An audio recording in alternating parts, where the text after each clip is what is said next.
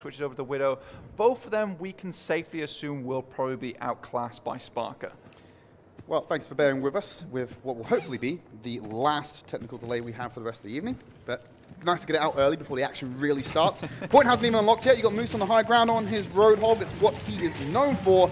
And the wall coming up nice and early, so that's not on cooldown. Trying to go for the hook, won't find it, but they have given away positional control to Clockwork Vendetta. They're playing this quad tank setup of British Hurricane, but already the hook comes through. Trying to deny Daned, and there's an overload for Engineer. He's already been found out by Happy Cool, and they just peeled back behind the shelter that was set up by Mini-Me.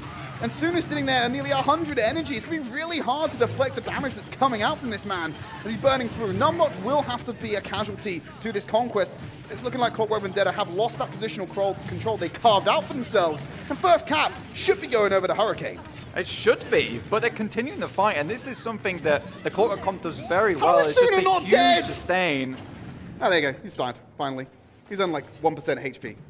That was incredible, the fact that it took so long for anyone to take the win away from that. I do actually like what British Hurricane are doing here with Danad on the hamster because he gets in and he forces a lot of those cooldowns out, like the hook. You can't just get a, let him get in that free pile driver through. But once that resource goes away, British Hurricane are quite safe to just move on in. Now they're going to have to worry about that nano boost coming in. Who to give that over to? You could just pop it straight on to Moose, potentially Mini-Me, and just rattle that damage off. Might be used as a life-saving method. We're not really quite sure how they want to be approaching this one, especially against the quad tank composition. Now the healing is going to be shut down there from the bio grenade. Moose has already committed the whole hog to force them back. Believe they're going to be throwing that Graviton Surge now. Now, Moose can't escape like a teammate can. Huge anti-nade on top of it. They will put a Blizzard to deflect the attack. Moose and Mini were so close to dying, but they will be healed out after that expires. And there's that Nano Boost killing Happy Cool before he can remake. And now Moose is still going to abuse that damage. He presses on against Suna. Danny goes in with the ball, but he's actually found out by the turret. Now the pressure turns over to Numlock, but Suna from the side will keep his tank alive. The healing has been boosted for the rest of Clockwork Vendetta, and they got the advantage of bodies on the point. They take out Yofi to seal the deal and get the flip just after two-thirds progress taken. But it costs them a, a lot of ultimates here. Um, but now they have Engineer's Molten Core. One thing that the Clockwork Vendetta comp does very well, especially if British Hurricanes comp here, with it like tends to stick together, is that when the Molten Core comes through, it makes you, it forces you to split up, right? And in that moment, target focus can shut down, can be lost. So really, in this moment, British Hurricane, they have to stay disciplined during this fight. The target focus has to be excellent. They're getting close to that Graviton Surge for Suna. Online, there's the Molten Core already going to like lay down the carpet. The welcome mat for British Hurricane is to go onto the point and tanking a lot of damage. The beat comes out early to make sure they're not sacrificing too much, and they will walk onto the point and try and take the territory away. Moose from the side, going to lock down Suna in place, and here comes the whole hog, the sweeper. Nice sleep coming in from Bucket to shut that one down, but the damage has already been done. They've lost one member. They're boosting up all the healing. Nano boost being committed. Numlock is incredibly low, and Mini will finish him off. Oh! The Wrecking Ball comes in. Danon finds two. His Engineer and Sky Ripper will go for a nice little travel. He's got Mr. Zaitor in his sights. The pile driver was there as Happy Cool will turn it around onto Moose, who denied that healing They have the flip. from Bok. And yeah, like I said, blank flip coming in over onto that one. 80% there. And now it's final fight territory. Clockwork Vendetta are going to have one more attempt, and it's not even going to be one that's coordinated. Dana pretty much saved British Hurricane from that. was going terribly for them. As soon as Suna gets out of the way, you lose so much damage. But a free couple of kills with the grappling claw, you'll take it. Using that third person peek, he spots out Engineer and will pivot around. The turret's not going to get much value out there. Actually, the sightline is enough to capture someone out.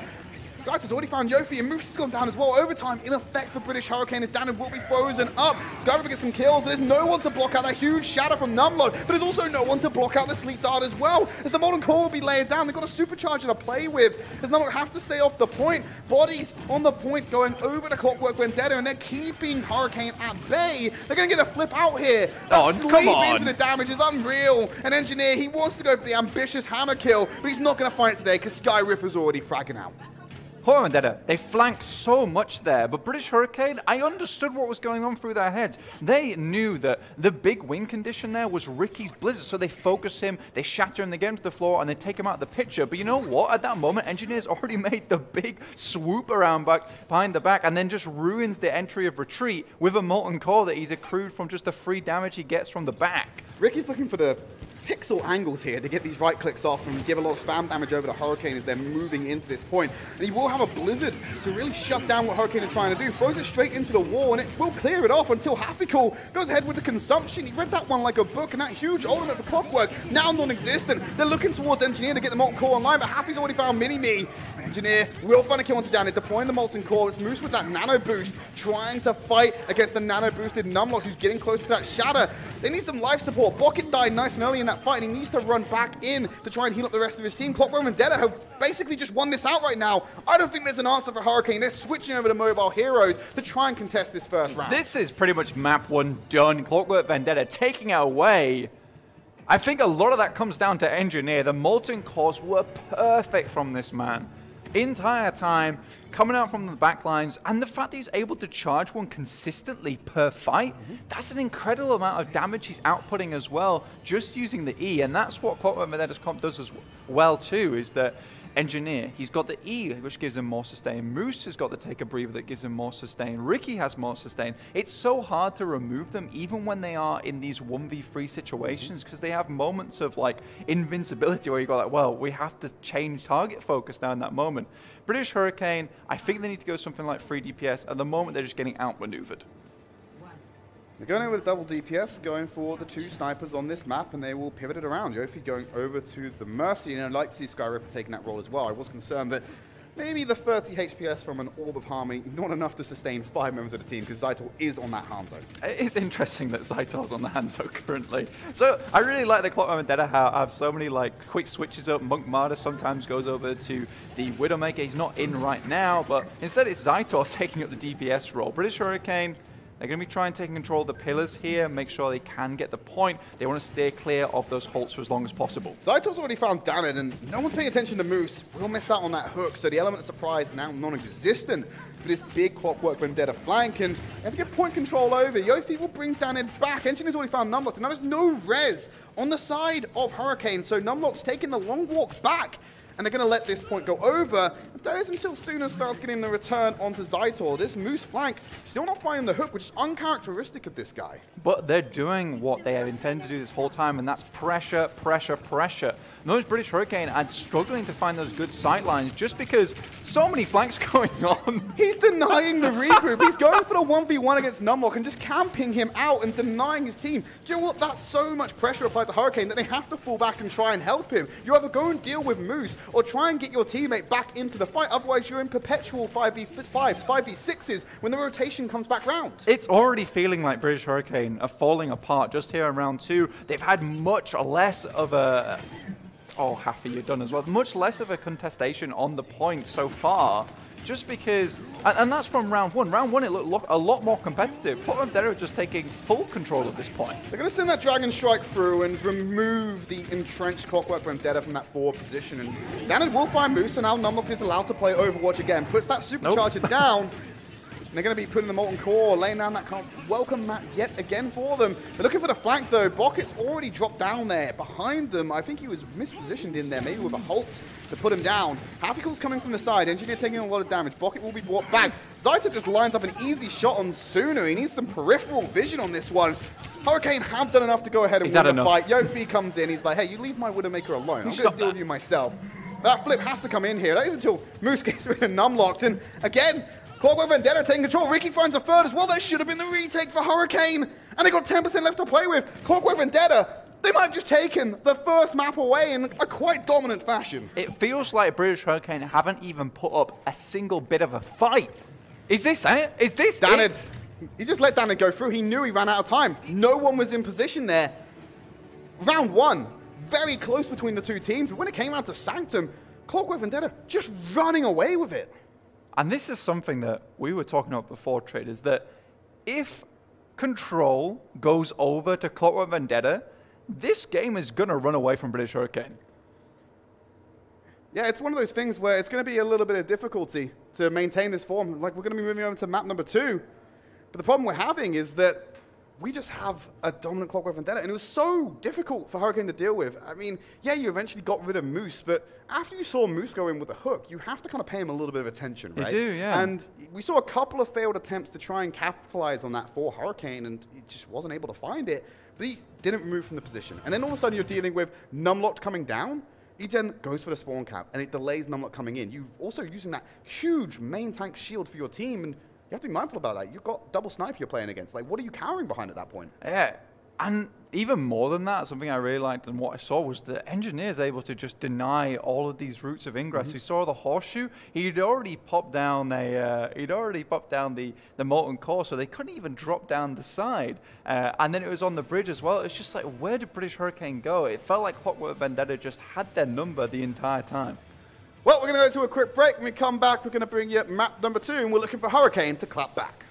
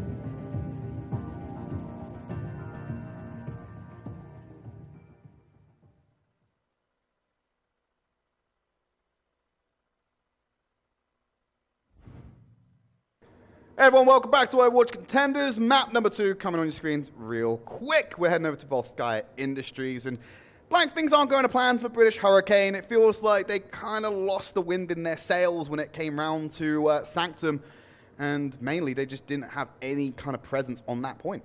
It's not going well, let's be honest. Um, now, one thing I was told by the Clockwork Vendetta team was that uh, if they won map one, we might see something a little bit special coming up. So hopefully Volskaya it, eh, it eh, holds some, some new fruits for us from the Clockwork Vendetta.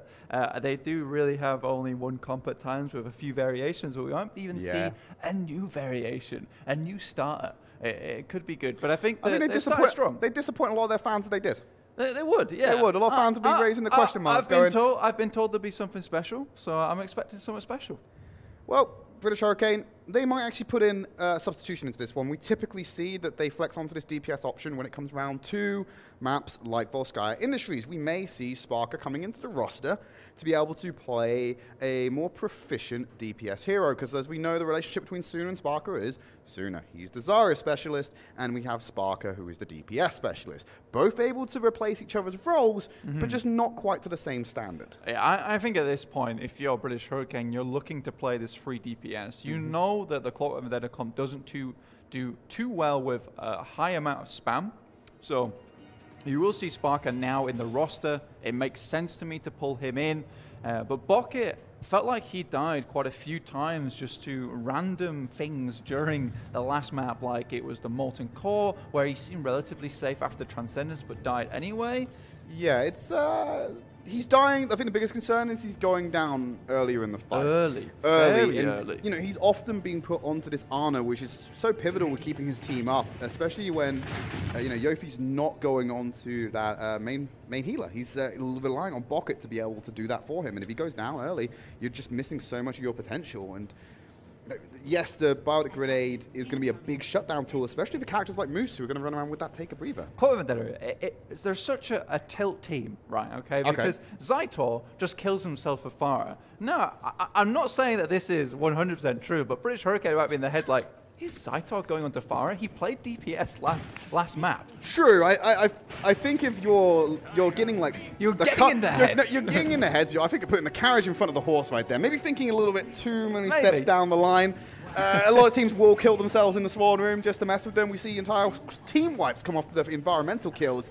But it's British Hurricane on the Triple offense first, and like pointed out, Blank, this is what we want to see on map number one, the triple DPS. So they are all on top of the hook currently, and you see how fast the shield immediately goes down, and the Mei wall now has to be used for protection rather than for offensive capability. And that is what you want to do with Clockwork Vendetta. You want to put them on the back foot so you can set up Sparker in a great position to hit these headshots. Sparks going to go for the grab hook off to the side. Did find the angle on Ricky, just couldn't connect the shot. He's going to use that ice block to deny the damage. The shield's already been burnt through from Mini-Me, so they're just buying their time until they can get him back. Moose already found Half with the hook.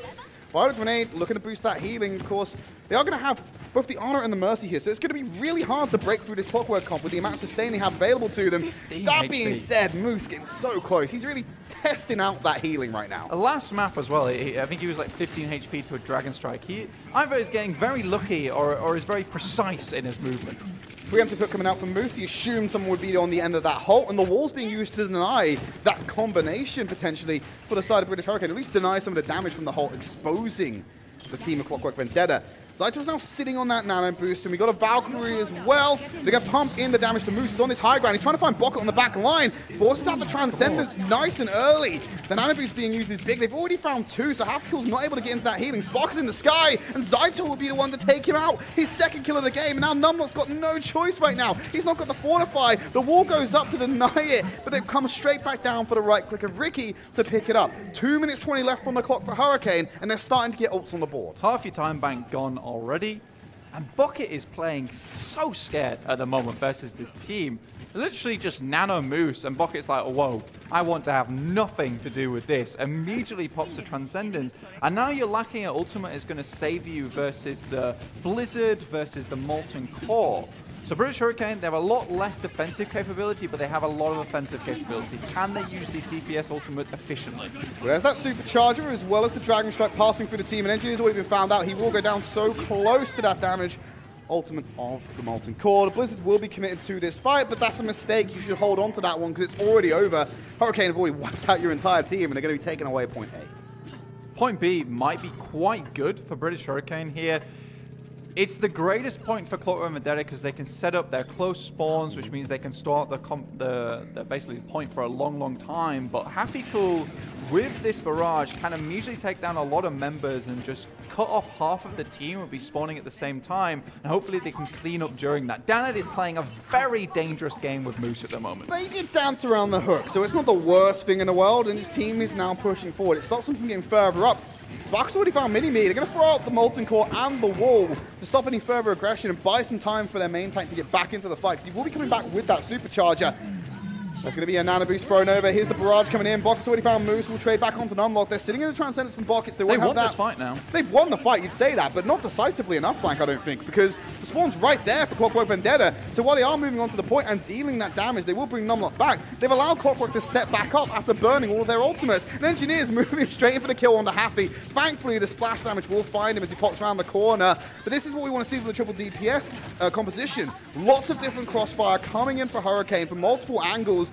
That is until they find three kills and just shut it all down. It doesn't matter what crossfire you have if you're playing with half of a team. Yeah. I, uh, what I meant was that they wanted the fight because the Zenyatta used the trance uh, after you saw Numlock go down to ensure the res goes through safely. But Clockwork Vendetta, I like what they're doing with the Ana and the Zen here. They uh, obviously don't need to move too much because point B is very enclosed. And with Skyripper on the Zen, Zaitor on the Ana, they're providing a huge amount of DPS. And it's giving them a lot of ability to keep Hafficool controlled in the air, which is why you're now going to see them make the switch over to the Roadhog, Bucket over to the Mei. We haven't seen too much of Bucket's Mei before, so uh, we have to wait and see how good he actually is on this hero. Go ahead and try and pull some kind of combination off, and they land it successfully for Boki to pick up that first kill. The whole hook combo, currently a resounding success for British Hurricane as they walk forward. Now Ricky's going to put that wall up and try and get Hurricane to go into the path he wants. Oh, he cancels out the ultimate with the hook! Insane. We'll shut down that blizzard coming out from Clockwork Vendetta. We'll still have the nano boost to work with. Molten Core's about to come online. The whole hog's been popped early, and Happy Cool won't find the hook or the CC to shut it down. Damage boost coming in, as well, of course, as that nano boost. Make sure that he's pumping out the best damage he can. Mini's Big hooked hook. in. No main tank on the side of Clockwork Vendetta. They have to play around walls and terrain as Happy Cool is keeping Moose at bay right now and potentially going on a hunt. He plays around the side, gets the hook, brings him in straight for his own death. They pop up their own wall to deny it, and I'm not sure about Skyripper going on to the point with the Transcendence that early when none of his team were prepared to fight. But he goes in and contests it, buys some more time. The wall coming up as well. Mini-Me doesn't have to protect the barrier to hide behind. He is getting healing from his team, but not enough to keep him on that point. So the progress keeps ticking up in favor of Hurricane. They've moved on to the point here. Moose on the Doomfist coming in against Happy Cool, who's now playing around the supercharger but can't get into cover because Spark is given these free sightlines on the Widowmaker. And that's going to be round one completed for British Hurricane. That entire time, British Hurricane wanted to get into this position that we currently just saw them in there, which is on the point where they can start to control the spawns, mm-hmm. control the angles at which Clockwork Vendetta can play, but they were cycling out the whole hog from Moose and the Halts coming out from Mini-Me so very well on Clockwork Vendetta that they were basically pushing British Hurricane back even when they were losing the fights, meaning that taking space for Hurricane was so, so difficult, extending the fight out much, much longer. Still, 2 minutes 29 for two points there is not too bad. Will allow them two fights on point A, but as we saw last time, it took them about two minutes just for the first fight. They had to have the full four minutes just to take it. And you got to remember as well, with this clockwork comp they lean on, offense on a capture point isn't really their strong suit. No. They uh, much prefer to dig themselves in and play and pivot around a single location. So Hurricane are fairly safe now, Yeah. as long as they can make a pretty good hold here on point A. Um, I think that the major worry for you of British Hurricane is how long you get hold on, held on point B. But I think they, they had a lot of patience there, and from round two on the last map in Nepal, it feels like they are playing much more composed. Uh, and this is something that I do see with Hurricane quite a bit, is that after a map goes poorly, the performance dips a little bit. It hasn't happened here, so it feels like some of the some of the coaching is coming through, a little bit more patience, a little bit more discipline overall from this team. Where's that barrier going? Just launched it straight up in the sky. Will land somewhere. So they now press forward. Clockwork Vendetta on the offensive and looking for them to try and take away space from Hurricane, deny them the angles. And we still got the double snipers coming in here. You see Dana playing up on the hut. They got Sparker with the bulk of the team sitting there behind that barrier. We'll take out that turret from Engineer nice and early. They're using the wall to deny the information. There's the whole combo. Won't find the hook and won't find the shot. He will be able to apply a little bit more pressure to CV. Moose is very ambitious, very scary, using the Halt hook against them as he gets halted up. He's halting them, he's hooking them back. So already a lot of space gained, and Ricky taking down Danad is huge. And now Moose is going to walk in to Mega, head upstairs, and get Happy Cool off this high ground. Trying to apply some pressure to him, maybe not even committing to that one, might just go back down to the point.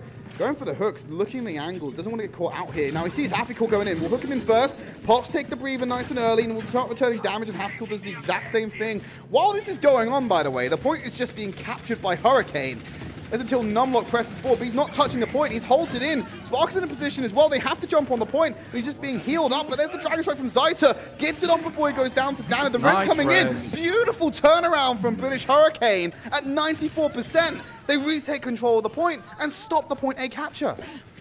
That was a very difficult restabilize from British Hurricane. They must have felt the pressure there in that last moment. Props to Hafficool keeping Moose under control, understanding that that is one of the biggest things that happen at the moment is that Moose's flanks were going unchecked. Now Hafficool is on the Roadhog. He's just dealing with them. And in that moment, it's fine for British Hurricane because they can rely on Daned and Sparker, who are these two great DPS players, to basically put in the chunk of the DPS, but they can't allow him to get so much free space again. Sparker needs to start hitting some of these shots. The wall goes up and it buys time for Clockwork to heal up Mini-Me. You took a little bit of damage walking in, as you'd expect. You got no D.Va on the team to eat up a lot of the spam coming in.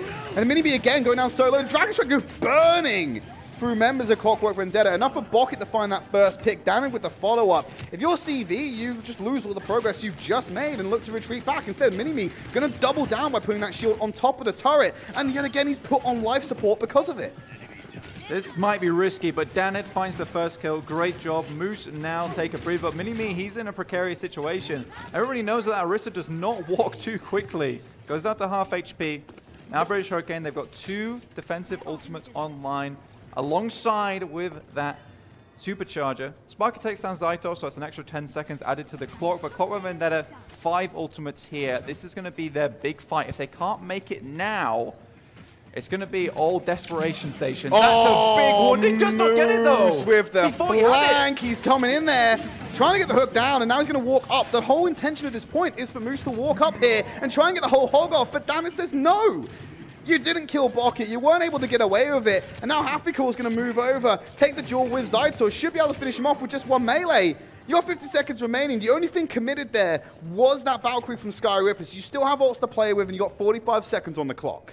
The Valkyrie does remove a lot of healing from Clockwork Vendetta, though, in this next push, because that's what they're relying on for healing there. Other than the self-sustain on the rest of the heroes, now you don't have 50 HPS being applied to everyone, which makes basically making the distance to the point much, much harder. British Hurricane can really push on the spam as Vendetta walking in. They might have to wait for a little bit longer. 20 seconds remaining. Molten Core just goes straight up. It will force them back further. Going to return the Dragon Strike. The Ice Block comes out nice and early. Sky Ripper's already That's gone big. down, though. No rest. That's your only heal coming out. As British Hurricane will now just dismantle this fight. They're being launched back by the whole hog, but it's so far away. It's not dealing damage. And you know who thrives in that long-range environment. It's Sparker. He finds two and seals the deal. Clockwork Vendetta gonna go down here, and Hurricane gonna tie the series at the half. So it's exactly like you said, Tridd.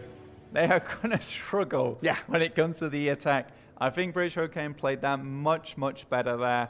It could have gone a very different way, though, if Bocket did go down to that halt and a hook. So I'm kind of unsure to the just the hook combo. So I'm unsure why he didn't die. It might have been that Moose just didn't hit that headshot, which is very uncharacteristic of the lad. The guy is very good on Roadhog usually. But I like what Hafficool's doing. I'm enjoying that he's keeping Moose in check and Sparker and Dana are coming alive on the high ground. And I think one of the major things is now is that they're not getting too aggressive unless they've got three or four picks. Before they were getting aggressive when they had one or two, but now they know that, look, right, everyone on this team is super dangerous. We have to take a lot of care and just be really patient on this high ground. We are speedrunning this series a bit as well. That was we incredibly, are, yeah. incredibly quick half, a 2-0 in favor of Clockwork Vendetta, and then we didn't really see point A get off the board for uh, Clockwork again, and when it came down to Volskaya, but you know, very close though. They ended up with 94.7%. That was all on the back of an impressive retake from Hurricane in order to get back in. And I want to go back to that moose flank we saw coming because you could see what the intention was there. You could walk in around the side. Intentionally, you get the nice little hook off. You pull in Bocket, you kill him, you remove a Transcendence, and Zen being an incredibly slow-moving target will take a while to get back to the point, and it gives you that innate advantage.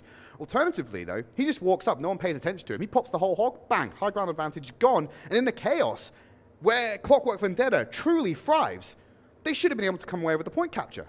And exactly, it's that chaos which is really helping Clockwork Vendetta take a lot of these points. And this is again why I'm liking what Happy is doing so well. Not because it's keeping Moose so much in check, but because it's also keeping his own DPS in check.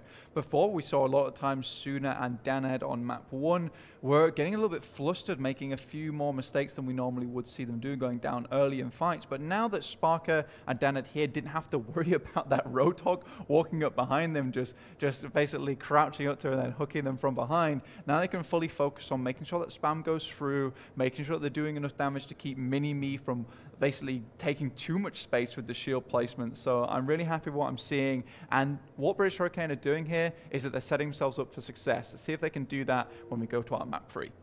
We'll go to that right after the break.